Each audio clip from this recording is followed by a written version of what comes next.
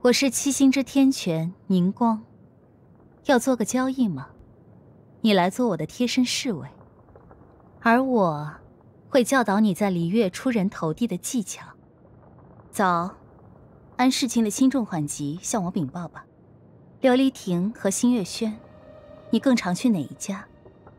茶馆已经客满了，那就来群玉阁坐坐吧。只要你付得起价钱。嗯，去休息吧。要是发生了重要的事情，我会派人通知你的。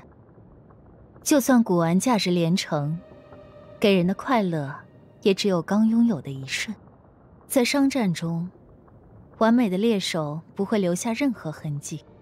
找笔新的投资吧。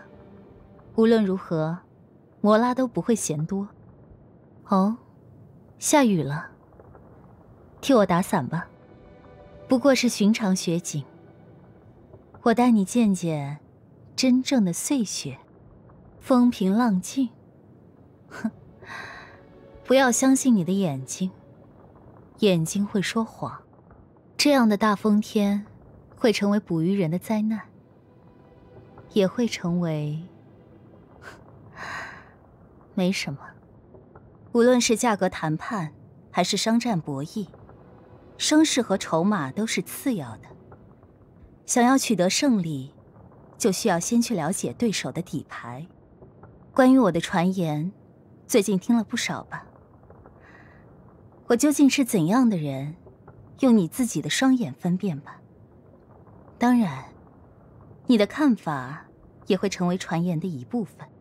赌徒永远会把希望寄托在下一颗骰子上。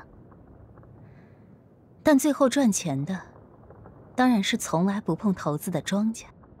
礼乐古代词赋中不乏对于琉璃百合的溢美，但它现今却近乎灭绝，只在玉京台还有保留。名声在外，却又不可多得，因此更加价格不菲。既然是你，就不用恪守那些繁文缛节了，可以随意些。不过，希望你能珍惜我的时间，言简意赅的进行说明。想来试试奇戏离月千年吗？正好也让我看看你作为一名棋手的素质究竟如何呢？烦恼？哦，离月七星的烦恼告诉了你，你的肩膀能够承受得住吗？而且。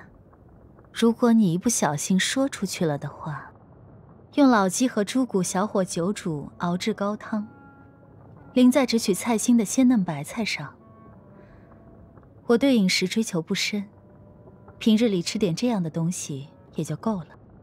我见过有人每次宴会必点黄金蟹这种看上去显得大富大贵的食物，但我对此始终不敢恭维。如果你想用这样的料理宴请我，还不如直接给我磨了。武斗缺乏风度，只能作为下策中的下策。